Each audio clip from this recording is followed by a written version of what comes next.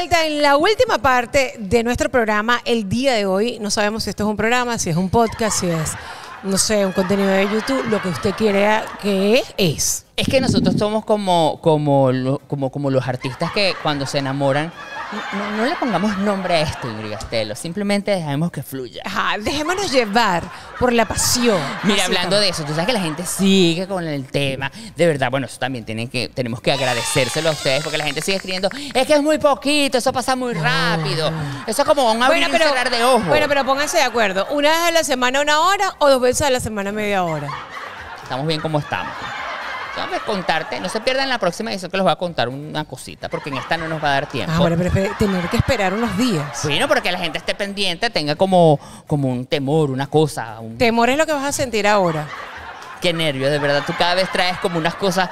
Ojo, también recibí mensajes de la última sección de Susurros Urbanos. No, eso era Susurros Urbanos. ¿Cuál? Que tú chato. Ah, claro, el del carretón, el del El carretón car- que la gente. Yo, la gente Ese estaba- cuento de Ingrid no, ese no da risa, eso no da miedo. De eso es lo que da risa. La gente Yo no que- tengo culpa de tener la gracia de contar las cosas y que la gente sea feliz. Aunque sea algo de terror. Vamos a ver qué es lo que nos va a, a dar tanto miedo el día de hoy.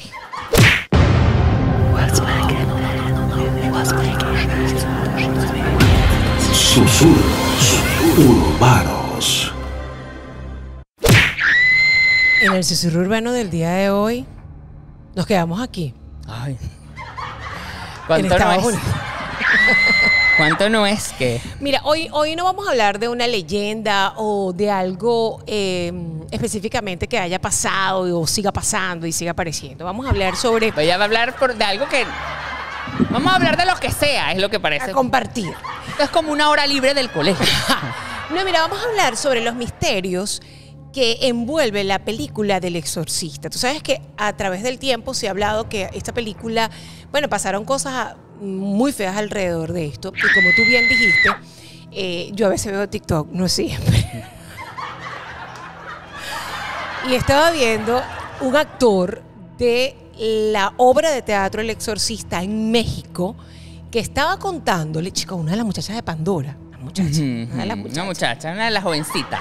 Que ahora tiene un programa de YouTube, le estaba contando todas las cosas que han vivido ellos como actores dentro del set de, o dentro del set, no, dentro del teatro. Ellos giran por todo México en diferentes teatros y ha sido realmente doloroso porque, bueno, le han pasado cosas terribles, además de traumático.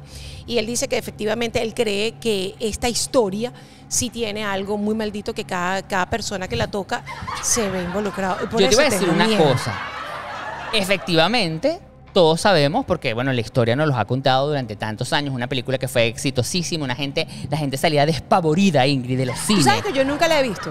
No. No, yo veía los cortes por, por, por, los, por, por los canales de, de nuestro país y yo decía, ese domingo voy a jugar, no sé, No. perinola, me voy a, no sé, a saltar la cuerda, a jugar al avión. No, a mí sí me gustaba y sí No, la vi yo no muchas puedo, veces. no puedo, no puedo. Pero en su momento, bueno, la gente salía despavorida, gritaba, no sé ¿Tú te qué. acuerdas de la Casa del Terror que pusieron en la Avenida de Lara al frente de las Claro. 4D? Claro, claro. En lo último que ven en esa Casa del Terror era, El exorcista. bueno, yo salí despavorida, yo no vi.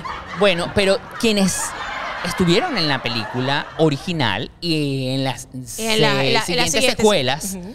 También les pasaron cosas Sí. horribles. Te iba a decir que primero esta película fue una inspiración de un caso real que siempre hemos sabido, que en 1949, que no era una niña, que era un niño, que el exorcismo duró aproximadamente seis semanas, que fue noticia, muy, pero mucha noticia en los diferentes diarios de este país en Nueva York. Y eso hizo que años más tarde, pues el escritor se inspirara y hiciera un libro, un bestseller que además vendió más de 13 millones de libros, Alfredo. O sea, fue una locura. Años más tarde de ese bestseller, entonces bueno, hicieron la película que ya conocemos con Linda Blair, con tu, tu, tu, que además también sufrió muchísimo, tuvo unos tiempos donde estaba con un trauma que no la dejaba, ella sentía que estaba po- poseída.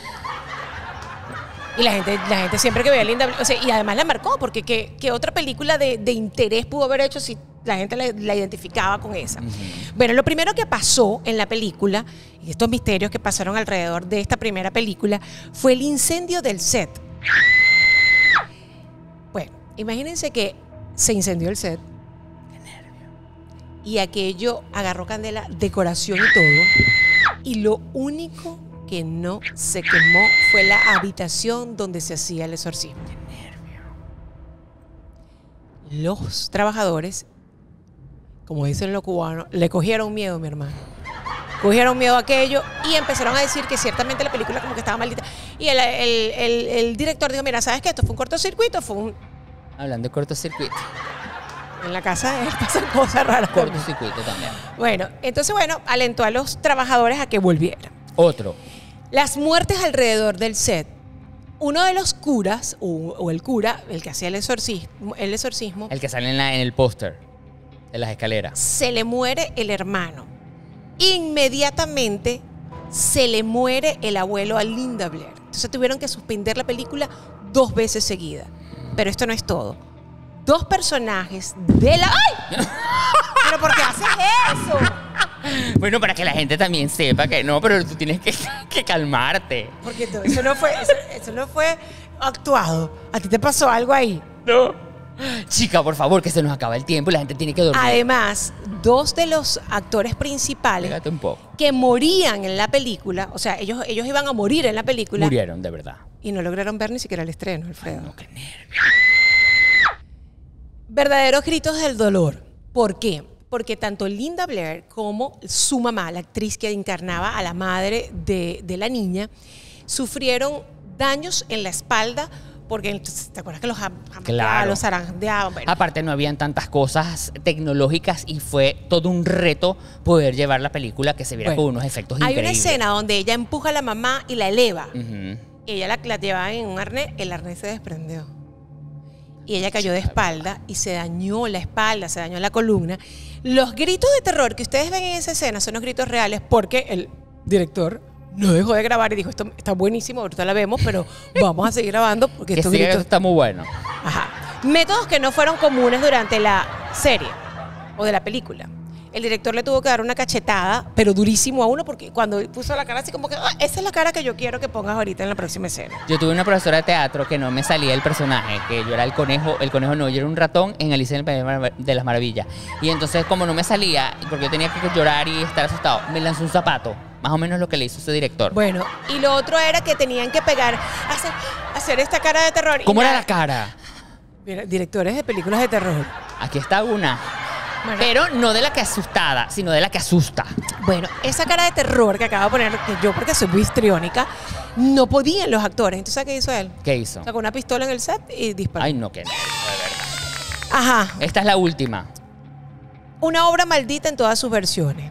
¿Por qué? Porque luego, como bien dijiste tú, en cada uno de los siguientes secuelas de la película pasaron cosas horribles. En el caso de Linda Blair, que no pudo desprenderse de ese personaje, no podía sacarlo, tuvo que estar en psiquiatras, psicólogos. Y en el caso de las otras obras alrededor del exorcista que han hecho, todas están malditas. Y ahí traigo el cuento de México, que el actor que hizo eh, de cura, él tenía que lanzarse por una ventana. Ajá. Y entonces él dice que él siempre en cada teatro miraba, veía la cruz que le hacen para que sepa que ese es el punto donde tiene que lanzarse y el colchón. Se le hizo dos veces así, hizo veces así, se lanzó y no estaba el colchón y bueno, se fracturó todo.